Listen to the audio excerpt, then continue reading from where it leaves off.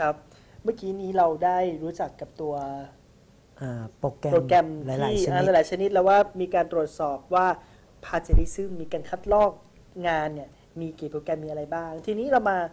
ที่ใช้กันในปัจจุบันเนาะในในประเทศไทยของเราในวงการวิชาการการศึกษาของเราเนี่ยก็จะมีใช้อยู่ไม่กี่ตัวนะครับหนึ่งในนั้นเนี่ยอะตัวแรกกันเลยก็คือตัวที่เมื่อครักี้บที่ท่านท่านได้นำอ่าที่อาจารย์ได้นำเสนอไปก็คือ ตัวโปรแกรม Turn Turn it It in In นะ Turn นะ it ครับ in นะครับเอ๊ะตัว Turn it in นี่คืออะไรนะครับ ก็คือเป็นซอฟต์แวร์ที่ใช้ในการตรวจสอบการคัดลอกผลงานหรือ plagiarism plagiarism นะครับครับเพื่อให้ผู้สอนเนี่ยสามารถประเมินคะแนนผลงานให้กับนักเรียนได้ด้วยนะครับ ผ่านอินเทอร์เน็ตผ่านระบบเครือข่ายอินเทอร์เน็ตได้ครับใช่ไหมครับ เราก็จะดูว่าเขาเนี่ยคัดลอกมาจากไหนใช่คัดลอกมาจากอะไรจากที่ไหนบ้างนะครับ บางทีเนี่ยเด็กงานเด็กส่งงานมาเด็กส่ง report ส่งรายงานหรือว่าทำวิทยานิพนธ์มาตรงนี้เนี่ย เราอาจารย์ที่ปรึกษาก็ต้องอยากรู้ว่าเขียนเองหรือเปล่าเอามาจากไหนอะเป็นการลอกใครมาหรือเปล่านะครับ เพราะฉะนั้นเนี่ยตัวนี้ก็เป็นอีกตัวหนึ่งอีกโปรแกรมหนึ่งที่จะช่วย ช่วยในการเช็คเช็คเบื้องต้นว่าใช่มีการคัดลอกมาคัดลอกมาจากที่ไหนบ้างบ้าง นะครับเอ้ทีนี้อาจารย์พอจะมี guideline หรือว่ามีวิธีการในการที่จะเช็คอ่าใช้งานของโปรแกรม t u r n i t in เบื้องต้นได้ไหมครับอาจารย์ครับ อันนี้เราจะมีอ่าวิดีโอนะครับตัวนี้เป็นนะครับวิดีโอของ มหาวิทยาลัยขขอนอนแก่แก่นนนะนะคครัรับบที่ท่านที่ได้ได้ทำเอาไว้นะครับ ว่าว่ามีวิธีการใช้งานตัวโปรแกรมตัวนี้อย่างไรบ้างนะครับ ก็อันนี้ครับขั้นตอนก็จะมีการสร้าง Account แล้วก็ Submit Paper อืมนะครับ แล้วก็ อันดับแรกนะครับ เราก็จะไปที่ turnitin.com นะครับครับ ก็พิมพ์ตรงที่เป็น URL URL นะครับนะ t ค u รับ r n i t in com เข้าไป ก็จะโชว์หน้าตาอย่างนี้ขึ้นมาครับอ่าครั้งแรกไปที่เราก็ต้องสร้าง Account ก่อนใส่เขาก่อนนะครับอืมก็ไปที่ Create Account เขานะครับครับ หลังจากนั้นเราก็ใส่อ่าเลือกเป็น student student ก็จะมีให้เลือกที่เป็น instructor ใช่ไหมอันนั้ครับนสำหรับเป็นพวกสำหอาจารย์อาจารย์ หรือคนดูแลถ้าเราเป็นนะคนัรับกเรียนแล้วก็เป็นคันใส่นี้นักศึกษาครับใช่เอันนี้ติมเราก็ใส่เอ่อ class ID นะครับ ซึ่งอันนี้เราอ่าไปรับ password จากเอ่อ เจ้าหน้าที่ห้องสสมุมุดดใช่ไหมครับ แล้วก็ใส่อีเมล email address ที่เป็นของของมหาลัย KKU นะอ่าครับตัวนี้เราอยู่มหาลัยขอนแก่น แล้วก็ใช้อีเมลของมหาลัยขอนแก่นครับใช่ไหมครับ ต้องเป็นอีเมลของมหาลัยเท่านั้นอ่าคือขอนแก่นเราซื้อ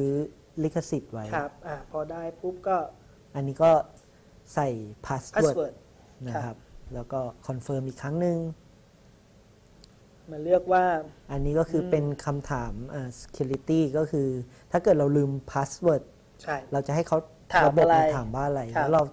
ตอบว่าอะไร อืมก็เป็นคำตอบ ใช่ไหมครับโอเคครับถัดแล้วก็ไปมีการอ่านก็